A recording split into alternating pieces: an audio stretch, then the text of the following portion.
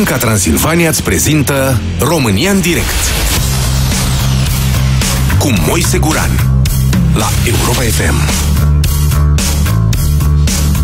Da, la Radio Europa FM și pe toate conturile noastre de Facebook, precum și pe site-urile vizidei.ro și europafm.ro. Doamnelor și domnilor, bună ziua și bine v-am găsit! Să vă mărturisesc înainte de toate că pregătind emisiunea de astăzi, mi-am amintit de o altă emisiune mai de pe la începuturile mele la Europa FM, în care am șocat ascultătorii în, cu întrebarea ce salariu ai vrea să ai. Mă gândesc la modul sincer și serios să reiau această temă, adică să vă pun din nou, după șase ani, această întrebare. Ce salariu ți-ar conveni să ai?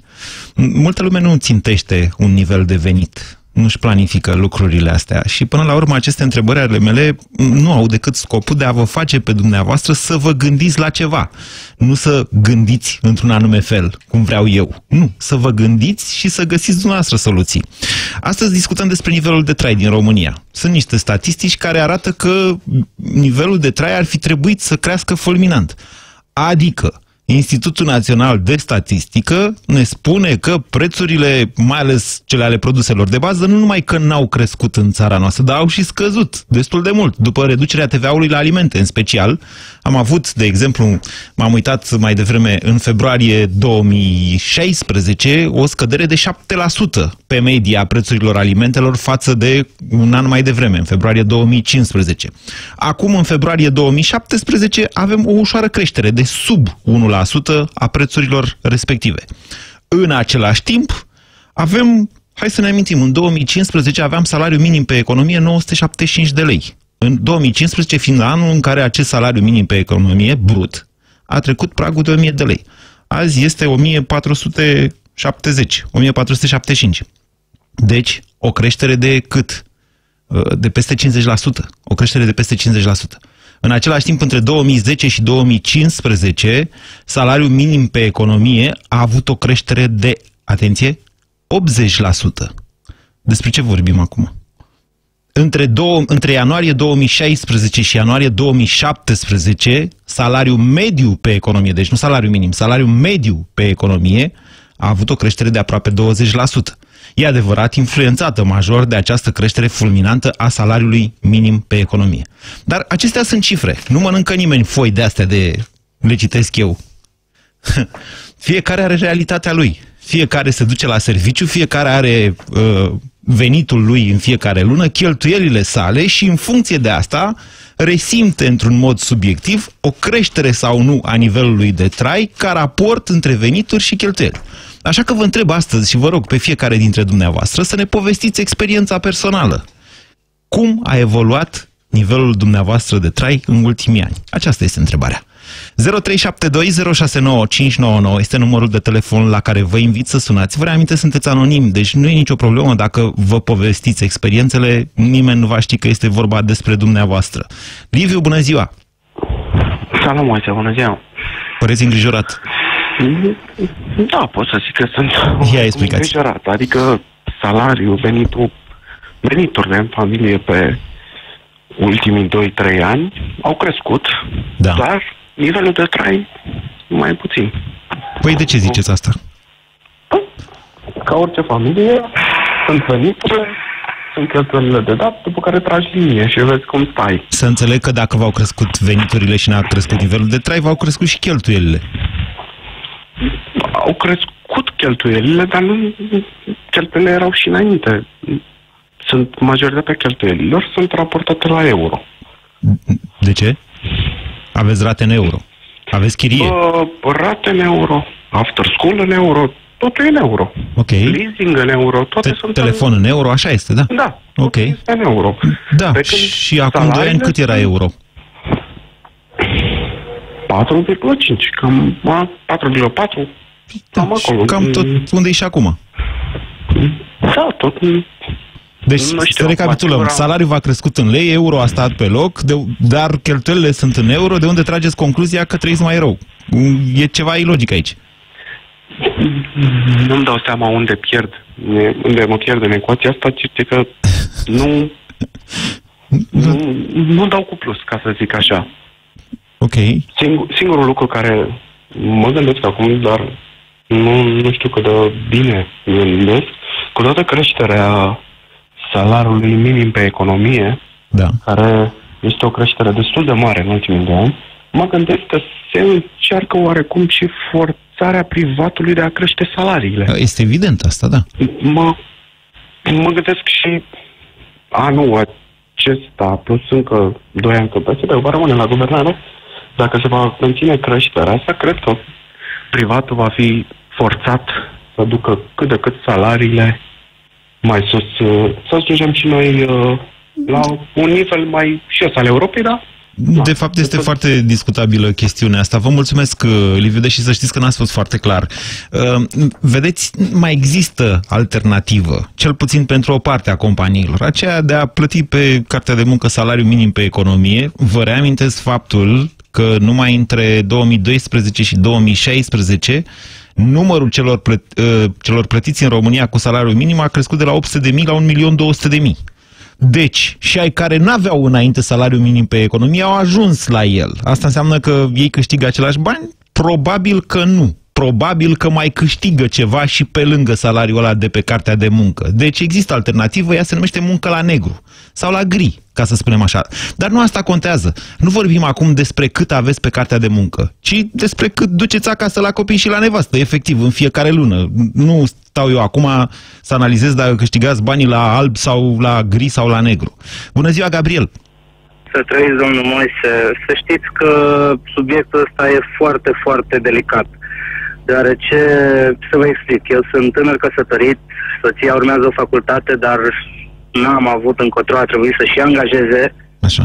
un fel de semi-part-time și undeva în casă intră la 2500 și 3000 de lei, depinde, lucrează în alimentație publică și depinde cu cât tips vine acasă pe seară. Ok, deci Asta sunteți nu- familia medie, să știți. Femi- familia medie în România câștigă acum aproximativ 3.000 de lei. Potrivit Dar vreau să statisticii zic, oficiale. Uh, Că total de chirie plus utilități plus mâncare, mai trebuie să-ți iei o haină, mai trebuie să bagi o benzină la mașină, mai trebuie să te distrezi și tu, că dar na, nu doar muncă, Așa. dacă nu ne-ar ajuta părinții major, că n-am și nu suntem risipitori. Efectiv, n-am avea cum să ne descurcăm. Păi, da, așa este. Probabil, dar Că vedeți... îmi dați voie Să-mi spun și o opinie personală. Părerea mea ar fi că toți asistații sociali de la, din mediul rural, care primesc niște bani, practic, degeaba, mulți, majoritatea, de fapt, sunt apți de muncă, ar putea s-ar putea schimba sistemul cumva să... să nu mai Gabriel, fie de ce asistat introduceți pe ei în discuție? Adică dacă n-ar mai plăti statul ajutoare sociale, credeți că ați avea dumneavoastră Practic, venituri din mai mari? banii Noștri, da, practic din dările noastre la stat să duc și niște bani acolo. Ar trebui să le găsească cumva de muncă, să schimbe ceva. Acum știu că sunt subiectiv, dar uh, Haideți să revenim la subiectul de astăzi un pic, că lucrurile se leagă până la un punct după care nu se mai leagă. Deci eu vă întreb în felul următor. De ce spuneți că v-au crescut cheltuielile? mm, fiindcă totul e aproape scump în ziua de azi. Ca să trăim... Și în ziua de ieri, zic, statisticile erau cam la fel. Și euro, și prețurile. Corect, corect. Euro a crescut, salariul e în uh, vorba antevorbitorului meu. Toate cheltuielile aproape sunt în euro Da. și carburantul depinde tot de euro, abonamentul la telefon, Da. chiria o am în euro, Da, da, tot atâta era euro. tot atâta. Hai, că a mai crescut acum în ultimul timp că... Da, domnule, e 4,55 să vă spun că era euro 4,65 în 2012, în timpul crizei alea politice cu suspendarea președintelui, a ajuns la 4,65 euro. Wow. Deci, Asta mi-a scăpat. păi iată. Aveți dreptate. Nu mai este. Deci la ce anume vreți să ne raportăm? Euro a fost între 4 4,4 și 4,5 în tot acest timp, acum e 4,55. El crește, eu vă tot spun, băi, vedeți că ăsta crește. Dar nu la modul că, domnule, ne-am rupt dinții când a crescut euro, cum au pățit ai cu francii elvețieni când a crescut brusc cursul. atunci a fost o... Deci, Gabriel, aveți o explicație la faptul că nu simțiți o creștere a uh, nivelului de trai, deși Da, v-au nu. crescut veniturile? Uh, da, fiindcă odată ce au crescut veniturile, părerea mea, strict părerea mea e că au crescut și costurile. În primul rând, facturile în fiecare jumătate de an, în fiecare trim- trimestru, tot mai adaugă de ceva. E nesimțitor, dar dacă tragi o linie bănesc la un detonant pe altul, Da.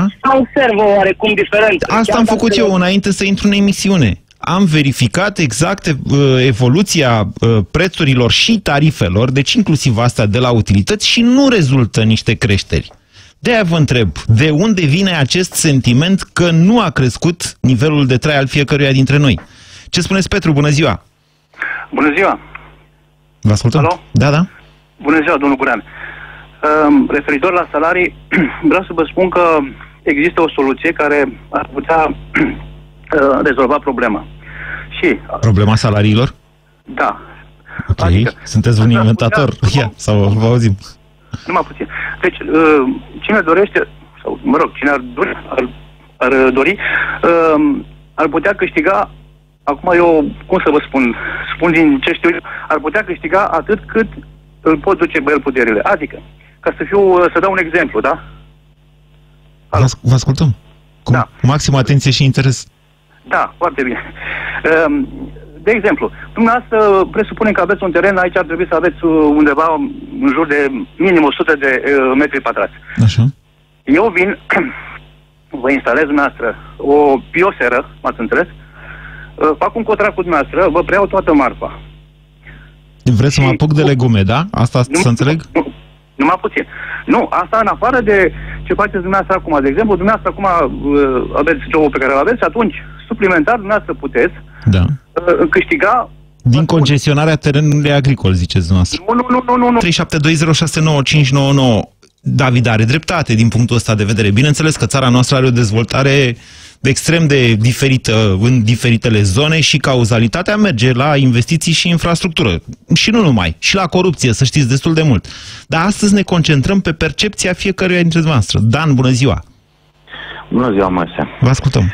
Deci, Ce în simțiți? comparație- Eu ce să simt un pic de emoții în momentul de față. Așa, ok. Deși ea nu este prima oară când intru în direct cu tine. Deci, eh, ca și venituri, eh, ce am avut înainte și ce am acum, acum e Da. cam pe acolo. Se învârte la 1000 de euro. Ok. Mă, mă învârt în domeniul transporturilor. Uh, partea de cheltuieli pe care le am în momentul de față s-au schimbat în momentul în care a venit familia și copii. Deși venitul meu este același. Deci v-ați censurat, aveți același venit, dar o duceți mai greu pentru că sunt mai multe nevoi. Exact. Chestia care este statul român zice, bun, am mărit salarii. De la privat. Luăm privat în momentul de față. Nu știu statul. La privat. Îl forțează pe privat să mărească salarii dar nu oferă nimic în schimb. Exact ce a spus acum câțiva, câțiva uh, Ce oameni v-ați înainte. aștepta să ofere în schimb statul? A oferit și o reducere de taxe, deci ce spuneți asta? Da, da, e perfect de acord, nu sunt perfect de acord, dar să ofere ceva cetățeanului în momentul de față. Cum ar fi? Pentru că pe mine, pe mine ce mă doare în momentul de față, nu mă doare neapărat cu salariul pe care îl iau eu și la soția, mă descurc. Dar ce mă doare cel mai tare la statul român este siguranța zilei de mâine, care nu ți-o garantează, partea de învățământ și partea de medicină. Ok, Pe mine deci a- dumneavoastră aveți o problemă cu serviciile publice pe care vi le oferă statul Exact. Exact. în timp ce vă... Eu, Da? eu ca și bani, măi, să și tu la fel, până să-ți iei el până să-ți schimbi mașina, bănuiesc că diferența de salariu nu era foarte mare. Te-ai permis să vinzi el și ți-ai luat mașina care ți-ai dorit-o. De fapt, Cu nu, ac- da, mă rog, în fine. Da, în fine, e pur și simplu, am luat un exemplu din ce am auzit înainte. Deci, în momentul în care mi-am schimbat mașina, înseamnă că mă încadrez în bugetul respectiv pe care l-am câștigat eu cu soția. Dar în momentul în care statul spune, bun, mărim, sunt taxele, salariul și m, salariul pe care eu îl iau în momentul de față și corelamat și înainte, nu diferă decât cu câteva sute de lei. Câteva de sute până într-o mie. Dar chestia care este este în felul următor. Atâta timp cât statul ia de la mine cetățeanul și nu face nimic pentru mine. Luăm exemplu Ceaușescu, da? Dau un exemplu. Este un exemplu. A dat locuri de muncă. A dat siguranță zilei de mâine. A dat școli. A dat... Dan, vă uh, duceți către o zonă în care o să vă închideți singur. N-ați fi câștigat niciodată pe vremea lui Ceaușescu 1000 de euro. E adevărat. E adevărat. Dar știți de ce? Vă ascult. Pentru că nu exista exact acest tip de concurență pe care, da, viața liberă vi-l oferă. Dacă sunteți bun, o să câștigați mai mult de 1000 de euro. Da, dar piața în momentul de față, nu sunt singurul. Păi sunt nu sunteți singur, dar, milioane. Dan, mă înțelegeți? Nu vreți dumneavoastră să câștigați în loc de 1000 de euro, euro 1700 sau 2000 de lei, cât e acum salariul mediu. net. Da. Nu vreți dumneavoastră să câștigați 2000 de lei și să câștigăm toți 2000 de lei? Păi aici Ca nu să- mai facem diferență, nu mai facem diferență între jobul Păi meu da, și da, jobul tău. aveți uh, siguranța zilei de mâine. Mâine, peste un an și peste 5, o să câștigați tot, tot 2000 de lei. Nu vreți așa? Nu, eu mă refeream la siguranța zilei de mâine pentru fiecare job în parte. Pentru da- siguranța națională. Da, exact, La asta exact. mă refer. Da, Că aici domnule. suntem în partea aia altă de corupție. Da, hai să facem exact așa. În comunism nu era chiar așa, dar, mă rog, asta era idealul spre am, care am tindeam. vrut democrație de, am vrut democrație și de fapt uh, democrația asta este piața liberă pe care o putem negocia fiecare pe jobul pe care vrem. Sunt să două luăm. lucruri Dacă- diferite, dar care merg într-adevăr împreună. Exact. Da, îi zice democrație liberală. Dar, încă o dată, nu evitați răspunsul la ace- această întrebare. Nu vreți dumneavoastră să câștigăm toți 2000 de lei și să avem siguranța faptului că și peste 10 ani tot 2000 de lei o să câștigăm fiecare? În mod egal? Nu, nu, nimeni nu poate să garanteze chestia asta, nici măcar statul român. Păi și atunci de ce vă prinde, plângeți de nesiguranța zilei de mâine? Pentru că în momentul de față, la partea ce vorbeam noi de salarii, siguranța zilei de mâine este că statul român, aici vreau să ajung. Da. Că, uh, mie îmi dă, iau salariu, firma îmi dă 1000 de euro, dau, de exemplu, 1000 de lei acum. Așa. Și uh, înainte luam tot 1000 de lei. Statul român, banii care ia de la mine, cetățeanul ace- acestei țări, să Da. investească pentru, pentru noi români. Eu am Asta înțeles. Dan, eu am înțeles, dar aș vrea să vă spun așa, acum am ieșit un pic din... uh, Dar, de fapt, suntem în această temă, dar vă dau un sfat așa, ca de la cetățean, cetățeanul Moise la cetățeanul Dan. Nesiguranța aia despre care dumneavoastră vorbiți este, de fapt, grija pe care o aveți și care vine din iubirea dumneavoastră pentru apropiați, pentru familie, pentru cei din jur. Asta vă dă nesiguranța aia. Și vă asigur că nu e, adică vă asigur că nu v-ați dori ca peste 10 ani să aveți perspectiva a 2000 de lei și atât, 2000 de lei, să fim toți plătiți egal. De ce? Uitați-vă, și de fapt asta e o problemă. O bună, o bună parte din țara noastră în continuare trăiește în acest sistem, în acel sistem, în care toți trebuie plătiți egal. Și avem în mod evident un conflict între o parte din țară care a trecut în capitalism și o altă parte din țară care e tot acolo. România în direct la Europa FM. Te ascultăm. tot acolo în comunism. Poate n-ar fi trebuit să fac aceste comentarii ca să nu vă influențez sau să nu le fac până la sfârșitul emisiunii. 0372069599. Vă întreb cum simțiți dumneavoastră, dacă simțiți, evoluția nivelului de trai al dumneavoastră personal. Bună ziua, Edi! Bună ziua, Guran. Vă ascultăm. Guran, eu uh, în ultimii 5-6 ani câștig aproape simativ la fel. Tot în jur de 1000 de euro, mă, aproximativ, să zicem, 800-900 de euro câștig lunar. Așa vor fi toți ascultătorii Europa FM la 1000 de euro? Da, deci că muncesc pe banii ăștia, nu stau. Aia e mare diferență. Cred la privat. Statisticile arată și că sunteți într-adevăr că, dumneavoastră ascultătorii acestei emisiuni, ce, da și aia e Europa FM, cu venituri peste medie. Așa, deci problema noastră e că nu evoluați, nu treceți de mii aia de euro venit. Evaluez. Am trei copii și crede-mă, mă uit, eu vreau să mă aleg de farmaceutice. Aceleași pastile care luam acum 4 ani, 5 ani, acum sunt cu 40% mai scump. Nu am să fac că nu spune nimeni absolut nimic. Acesta Deci este, la- atenție, un domeniu în care prețul este uh, forțat de stat. Păi, dar niciodată n-am înțeles, adică 40% diferență la un medicament, cum același medicament, pentru că fiind uh, diferent de 4 Edi, încă o dată, sunteți în distribuția de medicamente? Nu, nu sunt de medicamente. Te- Dați-vă mai la geam că nu vreau să vă pierd. Deci, încă o dată, spuneți. Tot în vânzări lucrez, dar nu medicamente. Ah. Chiar sunt foarte atent la prețuri. A, sunteți atent la am- prețul medicamentelor, da? Da, și nu înțeleg de ce s-au scumpit cu 40-50% medicamentele în 4 ani de zile. Ok, nu vă contrazic că ar fi sau nu așa, dar vă spun așa, în România prețurile medicamentelor sunt impuse de stat, 1, 2, sunt cu 30%, așa, așa, se- așa e formula de calcul, sub uh, cel mai mic preț din Europa. Deci, în România sunt cele mai ieftine medicamente din Europa, de-aia se și face export de medicamente care nu se produc în Europa. Să Nu se produc în România. Sunt aduse în România și după aia se exportă în România și se creează criză de medic- medicamente. Bun, deci noastră ziceți s-au scumpit medicamentele. Da? Da? Au scumpit și având doi copii în perioada de iarnă, nu știu, am avut mari probleme cu ei, au fost răciți, bă, sunt costuri de undeva la 3-4 milioane pe lună medic- pe medicamente la copii. Dacă duci la doctor, îți umple lista. Așa este. Te duci la farmacie în cazul unei răceli și lași acolo 100 de lei. Aveți dreptate. Dar eu vă întreb așa, ce medicamente le luați? Dau un exemplu, Panadol, e vorba de Panadol. Da. De la 10 lei cu 4 ani a ajuns la 14 lei, 15 lei, 16 lei. Numai că vedeți că acum 4 ani existau și alternative la medicamentele astea foarte scumpe. Da, Alte Panadol alternative este un în farmacii. medicament Care toată lumea îl dă la copii, Panadol Baby. Deci eu zic de un medicament care e foarte cunoscut. Da.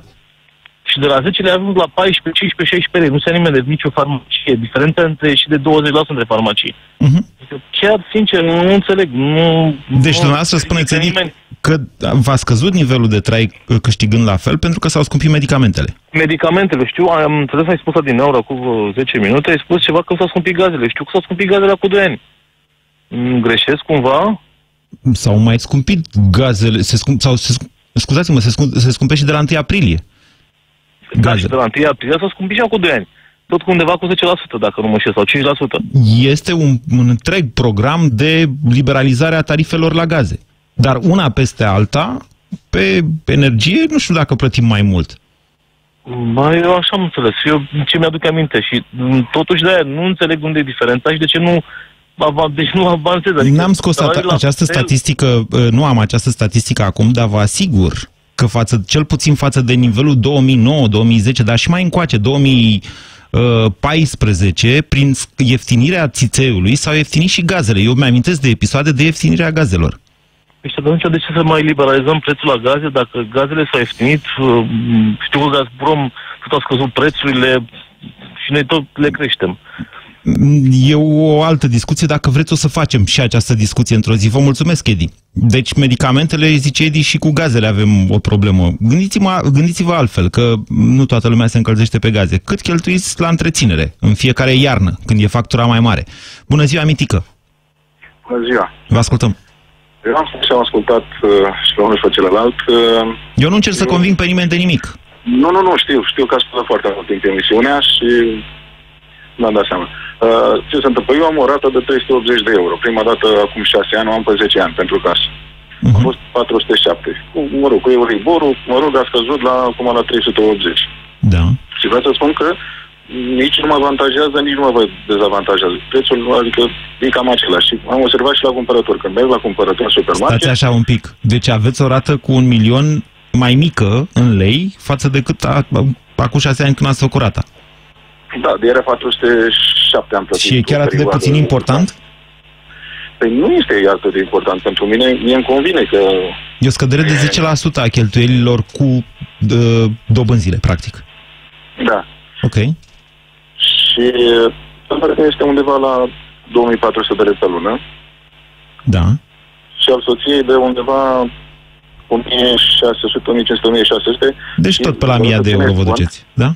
Împreună, dar Da. să țineți cont lucrând uh, ca și casieră și are o grămadă, are o gestiune foarte mare după ea, în care nu se... Înainte avea transport, venea la gestiunea, ducea cu gestiunea, acum nu mai are. Fiecare se descurcă cu gestiunea. Încercați să-mi spuneți Mă că re- faci mă o muncă refer că grea și că ar merita un salariu mai mare. responsabilitatea, Ok, bine. Exact, exact. Și mai am o întrebare, ultima așa. Aș vrea și eu să gândească cineva la acești, la acești oameni care au salariu minim pe economie când vor ieși la pensie. Cu ce pensie vor ieși, din ce vor trăi aceste persoane?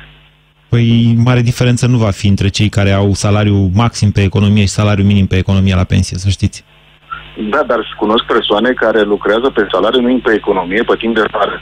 Îmi Ridică undeva la 3000, 3000 și ceva de lei pe lună Da? și pe timp de iarnă cât este frig, zăpadă, nu poate să lucreze, îi dă salariu de bază și stă acasă. Da, mitică, dar pensiile alea sunt plătite din niște resurse ale națiunii, care vin fie din uh, contribuțiile celor care muncesc, fie din împrumuturile statului. Tocmai asta. Din, Iar eu da, vă spun sunt că de acord. diferențele nu vor fi foarte mari la pensie între cei care au, nu știu, o 10.000 de lei pe lună astăzi și cei care au salariu minim. De ce? Va fi o diferență de câteva sute de lei. E vorba de resursele alea, către ce se duc? Se duc către nimic, resursele. Da, mă rog. Încă o Asta dată, m-a n-am făcut. înțeles. Nu, păi, a, a spus niște întrebări, dar eu, eu, la rândul meu, vă întreb ceva. Cum simțiți evoluția nivelului dumneavoastră de trai? Mm, Deci nu, nu, nu cred că are ceva îmbunătățiri mai multe, pentru că au crescut și prețurile la produsele alimentare. Care, de exemplu? De exemplu, și la salam, și la verdețuri, și la tot. Ok, bine. E punctul nostru de vedere, vă mulțumesc pentru el. 0372069599. Florin, bună ziua! Bună ziua! Mâncați verdețuri? Moise. da, da. Vedeți că au ieșit Probabil- urzicile de primăvară. Ia vedeți cât costă în piață. Chiar sunt curios, uite, nu m-am gândit până acum. Da, și eu sunt curios. Dar probabil, cum spunea și antevorbitorul meu, într-adevăr, prețurile alimente au crescut. Nu se face un control exact, mai ales după ce a scăzut TVA-ul. Vă dau un exemplu Înainte cum uh, fiecare Stă, stă, cumpără stă, anumite stați produse. așa, stați un pic. Deci TVA-ul e TVA, e partea statului. Noi îl plătim, magazinul colectează, îl dă la stat. E procentual mai mic, nu ne privește pe noi, privește statul. E între magazin și stat. Deci, eu vă spun în felul următor. Statistic, alimentele sunt astăzi mai ieftine decât în anul 2015. Vă rog să mă contraziceți. Vă contrazic. Uh, sunt unele produse pe care fiecare le cumpără și uh, cumpărându-le an de an, Da? le cam și preț. Eu, de exemplu, De știu la exemplu- vinuri. Vă garantez, vinurile s-au scumpit. Da. Eu vă zic la o șuncă. O, o șuncă pe care o cumpăr de, cam de fiecare dată, înainte era 22 de lei, când a scăzut TVA-ul, era undeva la 19,5, treptat, acum a ajuns la 22, chiar 23. De ce cam tot pe Deci, acolo?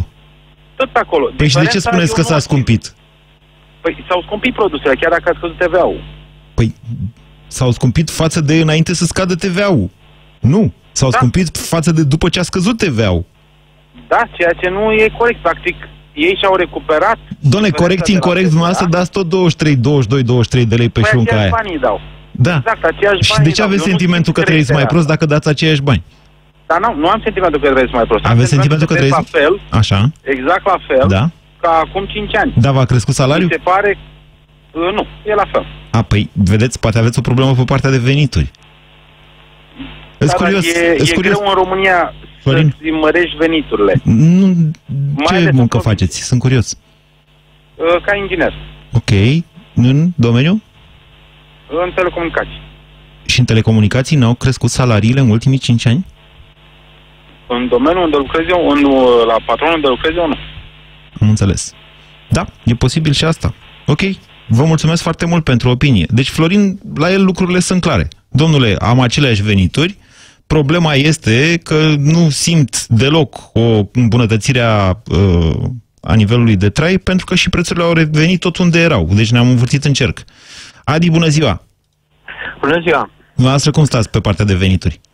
Uh, pot să zic că în ultimii cinci ani au cam rămas uh, stabili, însă tot am ascultat și mi-a rămas în cap puțin o, o chestiune care ai spus-o. Așa. Referitor la acea emisiune de acum uh, șase ani de zile. Cât ai vrea unde să ai oamenii- salariu, da, așa. Exact. Uh, eu vreau să dau foarte pe scurt, fără să deviez de la tema emisiunii. Dar nu vreau să... Lucrez cu soția da, mea. deci mai fac o pe emisiune pe tema bugete- asta, pe bune, deci chiar mă, mă, Corect. mă freacă palmele. Uite, fac mâine, Eu- dacă nu avem altceva, fac mâine. Cât ai vrea să ai salariu?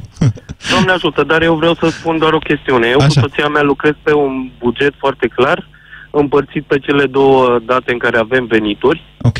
și cred că satisfacția la, sau răspunsul, dacă trăim mai bine sau nu, vine și din partea asta cum ne gestionăm. Da, Pentru că Poate veni. în momentul... poate veni. Exact. Da. Depinde, Exact, depinde exact. pe unde ai... De, de, deci dacă aveți veniturile constante și nu aveți o problemă pe partea de venituri, adică știți că din punct de vedere profesional sunteți în, undeva în zona de vârf și va fi greu să mai evoluați din punct de vedere al veniturilor, atunci sigur trebuie să vă concentrați pe partea de cheltuieli. Așa, Corect. ia spuneți-mi, Corect. cum stați pe partea Dar- de cheltuieli? Aici, aici ne, ajută, ne ajută foarte mult dacă ni le planificăm foarte clar, pentru că văd de multe ori cazul și aici îmi dau părinții ca să nu deviez uh, foarte mult. În momentul în care au salariile uh, sau au ziua de venit, Da. uh, fac niște cheltuieli care într-adevăr merg către partea alimentară, își plătesc poate anumite cheltuieli care deja nu mai pot fi amânate, iar în momentul în care se dau peste cap, nu mai ajung la acea dată ulterioară ca să mai poată să cheltuiască, să-și poată duce traiul normal de zi cu zi. Noi încercăm să mergem Stați, pe stați, că aspectul n-am ăsta. înțeles foarte clar. Deci, părinții dumneavoastră nu se descurcă și ajutați dumneavoastră, am înțeles bine? Uh, nu îi ajutăm. Era un exemplu în care e în momentul în care au venit în mână, Da.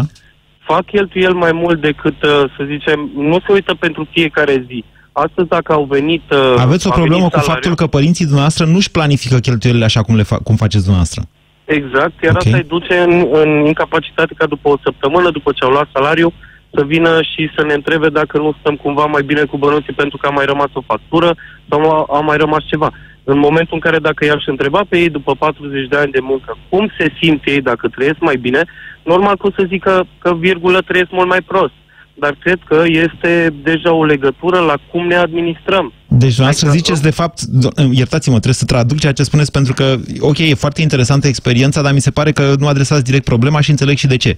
Noastră aveți o problemă cu faptul că părinții noastre nu au educație financiară și cheltuie mai mult decât produc. Înțeleg bine? Cred, cred că este și generală. Eu mi-am dat părinții pentru că nu vreau să generalizez. Okay. Dar cred că se întâmplă și această satisfacție pentru toată lumea ar veni în momentul în care da, îmi pot permite ceva sau nu, deocamdată rămân la acel nivel. Nu cred că neapărat stați așa, Adi, produselor... Sta, stați un pic, stați așa da, un pic. Asta e o temă, să știți, extrem de sensibilă. E atât de sensibilă că mi-e și frică să o pun în discuție la noi la radio. Nu că aș avea eu vreo problemă, însă mi-e frică de ce s-ar auzi în eter, în, pe națiunea noastră. Ce ar auzi națiunea noastră. Deci, Adi, noastră vă ajutați părinții, să înțeleg, în mod constant, da. cu bani. Da. Cu mulți bani? Uh, în medie undeva la 500-800 de roni pe lună. Ok, și ăsta e un lucru bun, ceea ce faceți. Este un lucru bun, dar uh, generalizând, cred că sunt cazuri și am auzit chiar antevorbitori care spuneau că sunt ei ajutați de către părinți. Nu asta e problema. Mai, ba nu, e, e important, e important. E o problemă importantă asta, să ne ajutăm și părinții, pentru că și părinții ne ajută pe noi o perioadă din viață. Corect. După care să nu-i lăsăm la mâna statului cu pensiile ca să-i ducă tăricianul ca pe oi la vot, da? Corect. Și să avem noi grijă de ei, că sunt părinții noștri și ne-au ținut prin școli, prin pe unde, adică, mă înțelegeți? Eu mă uit la părinții mei și în momentul în care ei intră într-un uh, supermarket, da. în momentul în care au veniturile în mână, să zicem, o dată pe lună, nu sunt neapărat împărțite de două ori, da. și își fac acele cheltuieli, uh, acele cumpărături, scuze, da. s-ar putea ca după o săptămână și produsele alimentare să treacă, dar și bănuții deja să nu fi fost gestionați uh, corect și pentru următoarele cheltuieli Fac care excese, mai adică ce cumpără din supermarketul ăla? Uh, produse alimentare. Deci normal, nu, deci nu whisky de 3 milioane, nu? Eu pot să zic că undeva la 200 de roni nu cred că scade coșul în momentul în care ajunge cineva cu salariu în mână, încă o dată. Deci ce le reproșați? Uh, cred că ar fi acea educație, pentru că la momentul de față, dacă încerc să... Adi, fac excese sau nu fac excese părinții dumneavoastră? Uh, nu sunt excese. Cred că este o proastă administrare doar. Ok, interesant caz. Vă mulțumesc foarte mult pentru faptul că l-a spus, uh, că ați sunat și l-a spus în discuție cu noi. Uh, și asta ar merita făcută o temă separată. Cred că am mai avut-o la Europa FM, deși vă spun sincer că toate se leagă între ele. Adică să nu vă faceți cumva impresia că țara noastră merge într-o, într-o direcție care poate nu vă convine dumneavoastră oamenilor mai tineri și că asta nu are nicio legătură cu faptul că ne-am lăsat părinții în fața, să trăiască în iluziile de la televizor, în loc să-i ajutăm într-un mod mai concret. Mă rog, în fine. Carmen, bună ziua! Da, bună ziua! Vă ascultăm, Carmen. Ne întoarcem la partea da. cu simțitul nivelului de trai. Dumneavoastră, cum îl simțiți? Da, uh, cu siguranță uh, nu, nu e ok.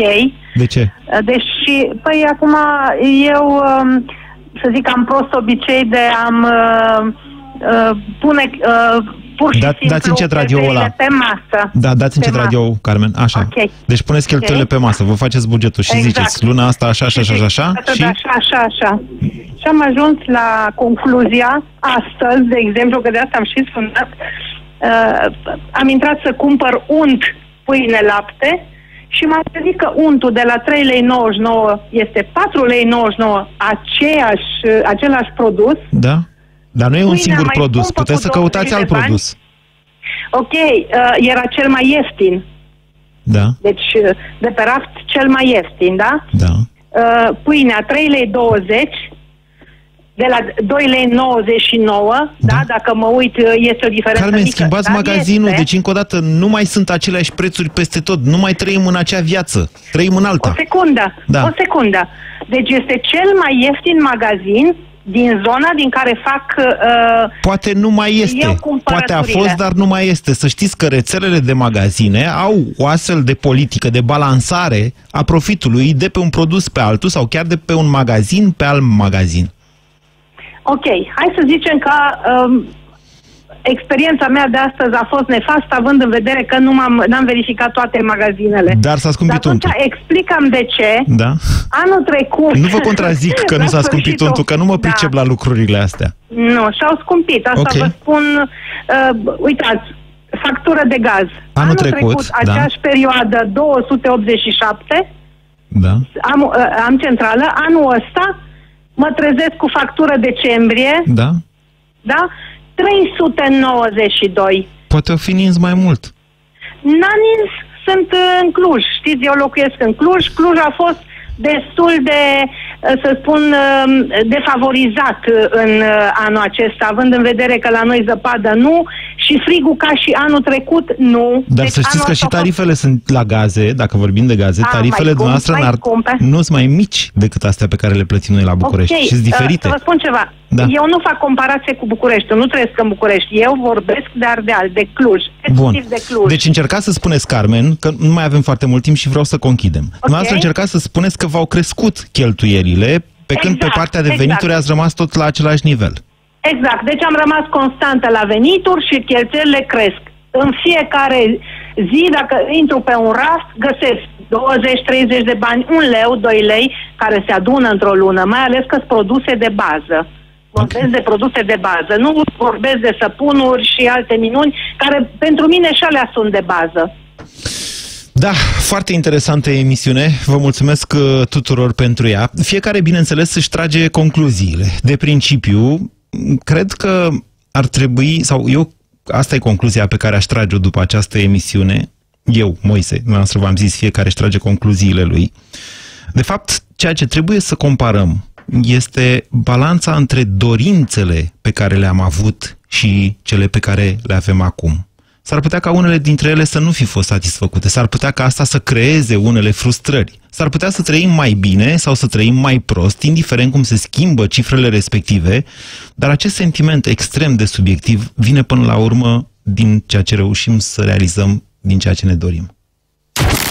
Ați ascultat România în direct la Europa FM, o emisiune susținută de Banca Transilvania.